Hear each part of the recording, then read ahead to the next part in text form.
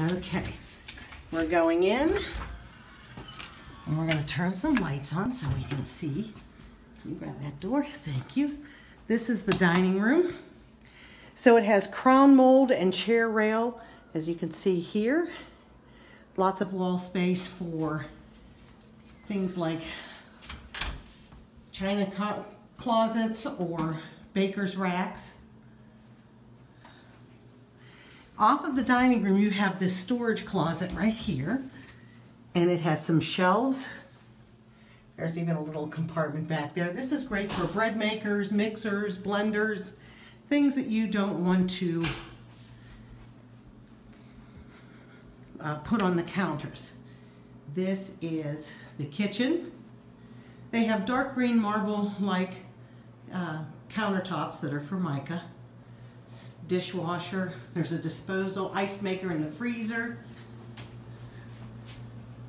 Stove. Lots of counter space.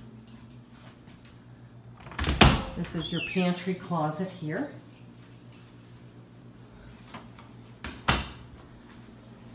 And this door will go to your laundry room with a full-size washer and dryer.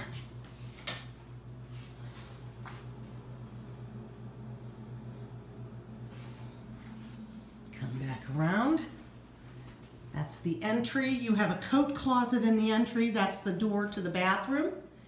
Come in here. This is a corner fireplace. The shelf above will hold up to a 50 or 55 inch flat screen and all your connections are there. Patio door is there. You have a ceiling fan in the living room. Turn the lights on here so you can see.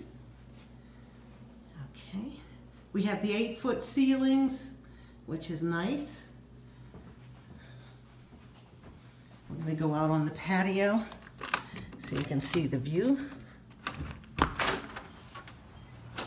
There is another building over here that you still have. There's our bench swing. The woods behind. It's a very pleasant view. You have an outlet out here and a light.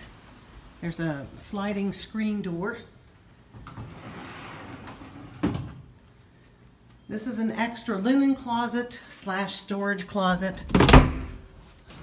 Some shelves that go in. There's double doors, so they're nice, nice size shelves. This is the first bedroom. This is the Jack and Jill bath I was telling you about. Opens from both sides. Tub shower combos.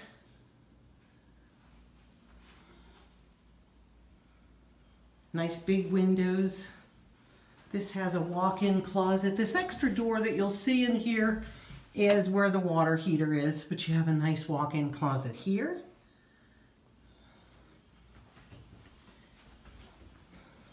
I'm going to go back through. Again, this is the living room. Master bedroom. It's a split door, so it doesn't take up any wall space in your bedroom.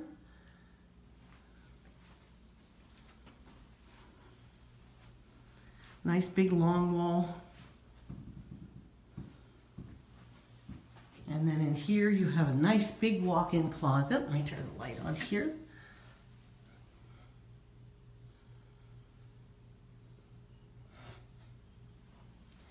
And the master bath, which has the garden tub.